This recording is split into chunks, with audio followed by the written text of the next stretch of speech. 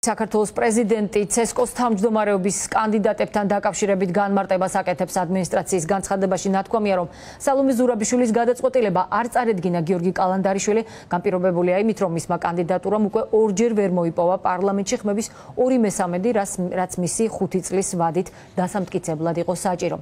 ჩემი კოლეგა სალომე ჩადუნელი გაეცნო ადმინისტრაციის მიერ გავრცელებულ დოკუმენტს და მე დეტალს ახლა მისგან გავიგებთ. სალომე გისმენთ. სალომე ზურაბიშვილი კიდევ ერთხელ უარყოფს საზოგადოებისა და პოლიტიკური სპექტრის შთაბეჭდილებას, რომ ის საკუთარი გადაწყვეტილებით ხელისუფლებას უპირისპირდება და ცესკოს თავმჯდომარის პოსტზე გიორგი კალანდარიშვილის არწარდგენაზე დამატებით განმარტებას ავრცელებს. როგორც უმრავლესობის, ასევე ოპოზიციის მხრიდან გაკეთებული კომენტარები და ყოვლად უსაფუძვლო დასკვნები სხვა არაფერია თუ არა საზოგადოების შეცდომაში შეყვარისა და პოლიტიკური პოლარიზაციის მეტად გაღრმავების მცდელობა. წერს საქართველოს პრეზიდენტი სალომე ზურაბიშვილი და განმარტავს, რომ თავარი მიზეზი, რის გამოც კალანდარიშვილი მესამე 18-ზე თავმჯდომარის პოსტზე არ წარადგინა. ისაა რომ ეს უკანასკნელი ვერ ახერხებს მოიპოვოს პარლამენტის 2/3-ის მხარდაჭერა, რომელიც თავმჯდომარის 5 წლის ვადით ასარჩევადაა საჭირო. შესაბამისად, ის ვერ ხედავს მორიგ ჯერზე. უпростоრად კი მესამედ გიორგი კალანდარიშვილის 6 თვით თავმჯდომარედ გამწესების საფუძველს. მისი შეფასებით, ეს პროცესი ევროკომისიის 12 რეკომენდაციის შესრულების თანმდევი გადაწყვეტილებაცაა.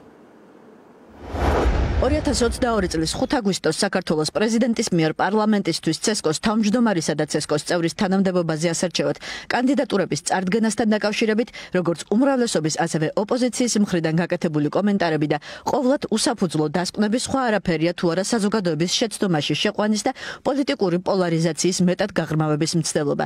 ცესკოს მოქმედი თავმჯდომარის გიორგი კალანდარიშვილის კანდიდატურის პარლამენტისთვის არ წარდგენა კატეგორიულად გამორიცხავს ბატონი გიორგი კალანდარიშვილის პროფესიონალი ჟურნალიზმის, მისი გამოცდილებისა და საქმიანობის პრეზიდენტის მიერ არაჯეროვნად შეფასებას.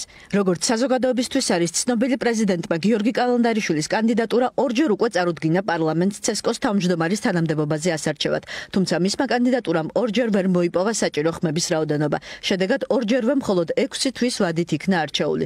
ცესკოს მოქმედი თავმჯდომარისა და მოქმედი წევრების პარლამენტისთვის არ წარდგენა განპირობებულია იმით, რომ მათმა კანდიდატურებმა ორჯერ უკვე ვერ მოიპოვეს პარლამენტის წევრთა 2/3 ხმების უმრავლესობა, რაც საჭიროა 5 წლის ვადით ასარჩევად. ცესკოს თავმჯდომარედ და წევრად მუდმივად ერთი და იგივე კანდიდატურების წარდგენა და მათი მხოლოდ 6 თვის ვადით არჩევა ხელს არ უწყობს ცესკოს ამ უაღრესად მნიშვნელოვანი სახელმწიფო ინსტიტუტის გაძლიერებას და დემოკრატიულ განვითარებას. პრეზიდენტის გადაწყვეტილება მიზნად ისახავს პროცესში ახალი პროფესიონალების ჩართულობის ხელშეწყობას, ცესკოს დემოკრატიულ და ინსტიტუციურ გაძლიერებას. ამ მნიშვნელოვან თანამდებობაზე ასარჩევად ფართო პოლიტიკური კონსენსუსისა და მაღალი ლეგიტიმაციის მქონე კანდიდატ კანდიდატურების გამოვლენას.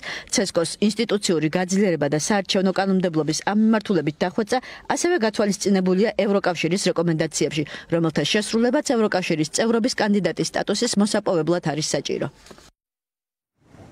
თავად გიორგი კალანდარიშვილი მედიასთან კომენტარს დღეს არ აკეთებს. მან გითხრა, რომ ყველა კითხვა ხვალ უპასუხებს. არ არის გამორიცხული, რომ ამ ფორმატს კალანდარიშვილი ოფიციალურ სახესაც მისცემს. პრეზიდენტის გადაწყვეტილებას ცესკოს თავმჯდომარის მოადგილე აფასებს. გიორგი სიორიძის თქმით, სალომე ზურაბიშვილის საკითხს ფართო ჭრილში უყურებს, რაც ევროინტეგრაციის გზაზე მნიშვნელოვანია. თუმცა აქვს მოლოდინი, რომ ქართული ოცნება პროცესს შეგნებულად შეაფერხებს.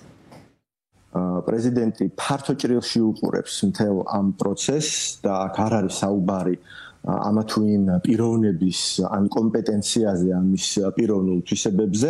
უნებრივი ამის ახსნა არის ის ამოცანა, რომელიც ჩვენ ქვეყანას უდგას ევროინტეგრაციის კუთხით და იმ რეკომენდაციების შესრულება.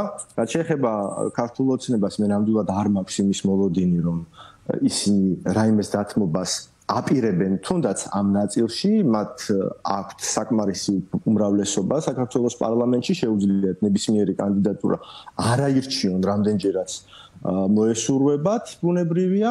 თუმცა ასეთი ნაბიჯები ნამდვილად რთულად ახსახსნელი იქნება ჩვენი დასავლელი პარტნიორებისთვის და ჩვენი ქვეყნის ევროინტეგრაციის ამ გადამწყვეტ ეტაპზე ნამდვილად ხელისშემშლელი ფაქტორი იქნება სალომე ზურაბიშვილმა პარლამენტ ცესკოს თავმჯდომარეობის კანდიდატად მოქმედი ხელმძღვანელი და მართველი პარტიის ფავორიტად წოდებული გიორგი კალანდარიშვილი აღარ წარუდგინა. მან არჩევანი ამჯერად სამართლის დოქტორ თამარ ალფაიძესა და სამართალმცოდნე რევაზ ეგაძეზე შეაჩერა. გიორგი კალანდარიშვილი სვადა 15 აგვისტოს ეწურება, როგორც 6 თვით გამწესებულ დროებით თავმჯდომარეს. ეს ნიშნავს, რომ ქართულ ოცნებას რიგგარეშე სესიის მოწევა მოუწევს, თუმცა მოსალოდნელია, რომ ქართული ოცნება პროცესს გააჭიანურებს.